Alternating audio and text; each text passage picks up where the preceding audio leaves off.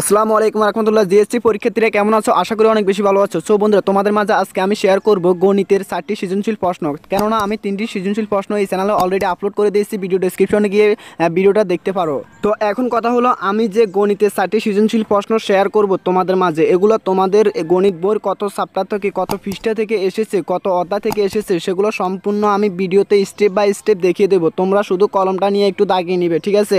আর আমরা যে বাংলা, ইংরেজি, তথ্য, ধর্ম, সমাজের সাজেশনগুলো দিছি, এগুলো তোমাদের একশো পার্সেন্ট কাজে লেগে গেছে। হ্যাঁ তোমরা আমাদের ভিডিওতে পরীক্ষা দিয়ে এসে সন্ধ্যায় কমেন্ট করো যে, ভাই, আপনার কমেন্ট আসছে, তবে আশি পার্সেন্ট দিতে পারছি, তবে একশো পার্সেন্ট আসে নাই। আমরা আসলে এই তথ্যগুলো অনেক সংগ্রহ করে, অনেক মাথা খাটিয়ে এই তথ্যগুলো এনে থাকি, ঠিক আছে? তার জন্য আমরা সকল বোর্ডের জন্য প্রযোজ্য হিসেবে দিতে পারছি না। কারণ যে বোর্ডটা থেকে আমরা আনি, সেই বোর্ডের একশো পার্সেন্ট কমন আসে, ঠিক আছে? আর বাকি যে বোর্ডগুলো আছে ওগুলো পঞ্চাশ পার্সেন্ট শুধু এমসি এমসিকিউগুলো আসে, ঠিক আছে?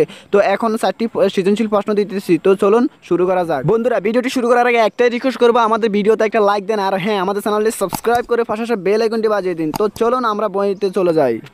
সর্বপ্রথম অষ্টম শ্রেণির গণিত বইটি ওপেন করবে। আর হ্যাঁ যে বোর্ড থেকে আমি এই গণিতের সৃজনশীল প্রশ্নগুলো সংগ্রহ করছি, সেই বোর্ডের নামটি আমি লাস্টে বলে দেবো ভিডিও শেষে বলে দেবো। তো প্রথমে তোমরা সূচিপত্র চলে যাবে, যাওয়ার পরে পঞ্চম অধ্যায় চলে যাবে, ঠিক আছে? পঞ্চম পঞ্চম অধ্যায় বীজ গণিতের ভগ্নাংশ, এখানে চলে যাবে প্রায় পঁচাত্তর পৃষ্ঠা, ঠিক আছে? আমি দেখে দিচ্ছি, পঁচাত্তর পৃষ্ঠায় চলে গেলে তোমরা এই অঙ্কটা দেখতে পারবে। ছিয়ানব্বই পৃষ্ঠায় নিচে যে একটা অঙ্ক আছে, আঠারো নম্বর আর উনিশ নম্বর, এই দুটাতে একটা তোমাদের কমন পড়ে গেছে। যে বোর্ড যে বোর্ডটার আমি বলে দেবো লাস্টে বোর্ডের নামটা বলে দেবো, ঠিক আছে? ষষ্ঠ অধ্যায় সরল সমীকরণ। সরল সমীকরণে তোমরা যেতে হবে একশো নয় ফিস্টাই ঠিক আছে? একশো নয় ফিস্টাই ফাঁসের মাঝে যেটা আছে সেটা শিখবা তারপরে তোমাদের এই ফাঁস নাম্বার উদাহরণ পাঁচ, ঠিক আছে? এগুলো থেকে তোমাদের সাধারণত এমসিকিউ সকল বোনের জন্য এই এমসিকিউগুলো আসবে। তারপর অনুশীলন ছয় দশমিক টু ঠিক আছে?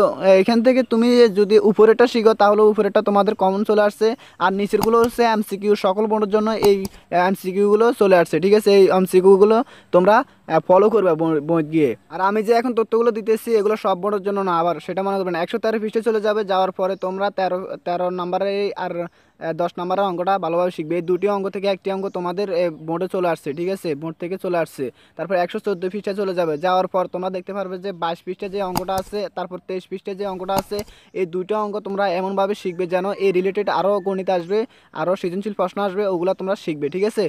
তো আমি যেগুলো মোটামুটি দেখিয়ে দিচ্ছি সেগুলো যদি তোমরা অল ক্লিয়ার পারো ঠিক আছে? বুঝো মাইন্ডে পারো তাহলে এই এই সিস্টেমে অঙ্ক আসবে, সম্পূর্ণ অঙ্কগুলো তোমরা পারবে, ঠিক আছে?